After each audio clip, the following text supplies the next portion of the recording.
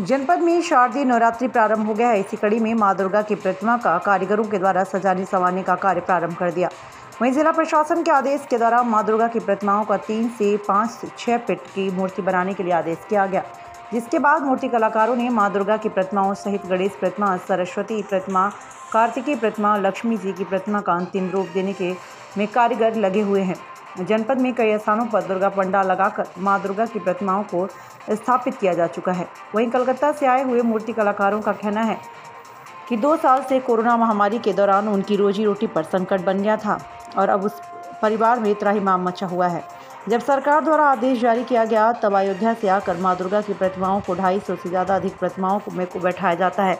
मगर इस बार corona guideline के बाद सैकड़ों प्रतिमाओं को न बैठा पाने से मूर्तिकल मूर्ति कलाकारों की बिक्री भी नहीं हुई है। वहीं बताया कि अभी तक दुर्गा माँ की प्रतिमाओं की कम बिक्री किया गया है, जिससे इस बार भी कलाकारों के द्वारा काफ़ी नुकसान उठाया जा रहा है। उन्होंने कहा कि जो मूर्तियाँ हम लोग 200 से 250 मूर्तियाँ बनाकर बेचते थे, मगर इस बार कुल 70 ऐसी मूर्तियाँ हैं कि बिक्री हुई हैं। गोंडा से आए माँ दुर्गा की प्रतिमाओं को खरीदने वाली समिति से अंकित मिश्रा ने बताया कि दो साल से कोरोना महामारी के दौरान माँ की प्रतिमा को नहीं बिठाया गया। मगर इस बार प्रतिमा को बिठाया गया है जिसमें चार से पाँच फीट प्रतिमाओं का आदेश हुआ है और कोरोना वायरस देखते हुए हम लोग माँ दुर्गा की प्रतिमाओं को स्थापित करेंगे। अयोध्या से आज़म खान की रिपोर्ट। डिस्ट्रिक्ट में हम्म। यहाँ पे आप अयोध्या आए हैं हाँ। क्या कारण यहाँ पे? यह मूर्ति बनाने के आया। कितनी मूर्तियाँ आपने बनाई हम इस साल साठ मूर्ति बना रहे हैं। अच्छा मूर्ति जो ती, बनाने तीन फुट चार फुट पाँच फुट का। अच्छा सरकार की क्या गाइडलाइन थी? है? नाइनटीन को देखो सब जितने आदमी यह बनाता है सब आदमी की बताया जो तीन फुट चार फुट से ज़्यादा ऊँचा नहीं बनाएगा अभी तो पाँच फुट बोल रहा है जो पाँच फुट बनाने अच्छा आप लोग आ जाते हैं। हम लोग तो पहले कोरोना पहले जो आते हैं चार महीना पहले दुर्गा पूजा अभी यह आया ढाई महीना पहले। अच्छा तो किस हम या किस तारीख के शुरू करा तो पहले क्या करते हैं महीना पहले से? तो क्या क्या शुरुआत पहले पहले हम लोग ट्रैक्चर बनाता था बाँस का। तो अब मिट्टी पैरा बांधता था। पैरा बांधने के बाद मिट्टी लगाता है। पहले एक मिट्टी लगाने के बाद फिर दो सौ मिट्टी लगाता है। तो अब अंगली बनाता है। अंगली बनाने के बाद सब चियारा बनाता है।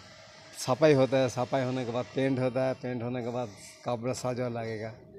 इतने सालों से आप मूर्ति का काम कर रहे हैं? और पिछले साल कोविड अपने घर हम यहाँ 2001 में आया था फैजाबाद में मूर्ति बनाने का। 2001 में आया। कोविड हिसाब से अगली बार हम आया नहीं। यानी घर पे था।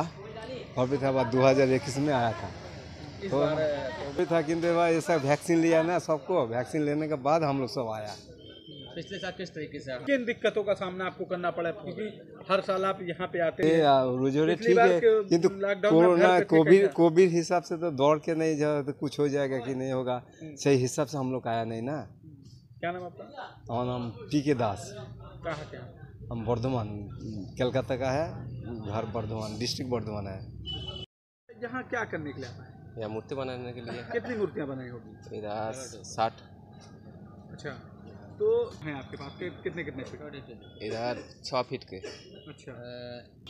हाँ। जो मूर्ति जो आप भरते हैं क्या करते हैं? रंग भरते हैं मिट्टी का काम है कपड़ा पहनाते हैं सब कुछ करते हैं। अच्छा अभी आप क्या कर रहे हैं? हम अभी आँखें दे रही हैं।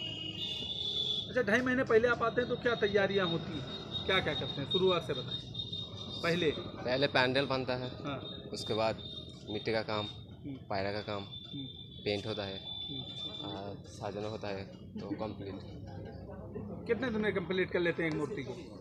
एक मूर्ति को दस दिन। दस दिन में एक मूर्ति पूरी कंप्लीट कर लेते हैं? हाँ। क्या नाम आपका? मेरा नाम पप्पू। नवरात्र सुबह आज नवरात्र का दूसरा दिन है। माता जी के लिए हमारे यहाँ ग्राम सभा में स्थान पे मूर्ति बैठाया जाएगा। कहाँ से आप आए? ग्राम सभा लोलपुर जिला गोंडा। कितने दिन मतलब प्रथम दिन से आखिरी नौ नौ दिन तक। दसवीं को जो है हमारे यहाँ विसर्जन होगा माता जी का। अच्छा। हम्म। कोविड को देखते हुए किस तरीके की व्यवस्थाएँ यहाँ पे आपको देखने को मिली? क्योंकि जो सरकार की जो गाइडलाइन है उसमें कितने फीट की मूर्ति हैं और आप कितने फीट की मूर्ति लेके जा रहे हैं? हमारी मूर्ति साढ़े पाँच छः फीट की है। आदेश यही हुआ था सरकार के यहाँ से। हम्म। हाँ तो हमारी मूर्ति साढ़े पाँच छः फीट की है। नवरात्र के पर पे? क्या कहना चाहेंगे भाई जो आदमी का आज सबका विचार होगा अच्छे से कि भाई कोविड नाइन